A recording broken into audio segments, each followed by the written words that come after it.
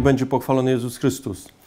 Czwarta niedziela Wielkiego Postu, niedziela e, radości.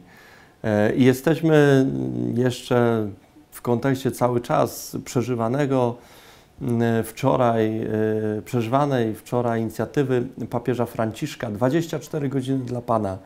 24 godziny, kiedy możemy wyznać swoje grzechy.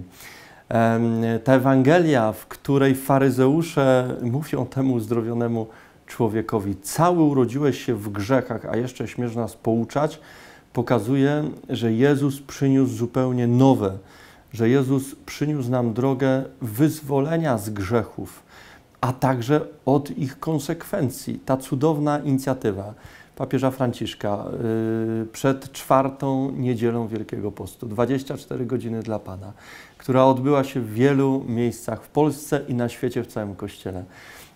Y, pokazuje nową rzeczywistość, której doświadczył uzdrowiony z dzisiejszej Ewangelii, z której my możemy korzystać, jeśli słyszymy, kiedy słyszymy i ja odpuszczam Tobie grzechy w imię Ojca i Syna i Ducha Świętego. Amen.